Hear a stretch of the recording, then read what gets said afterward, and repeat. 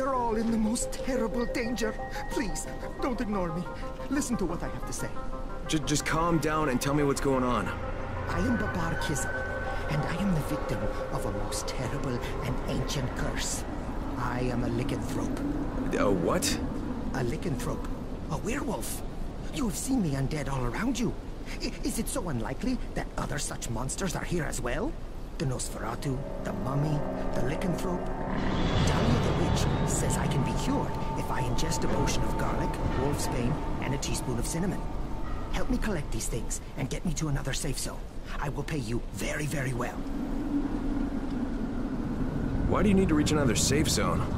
One of the survivors here, I think he's a ghoul. Also, they tell me I have to leave because I'm a crackpot. Tonight is the full moon. We haven't much time. Yeah, yeah, I'd prefer not to drag this one out.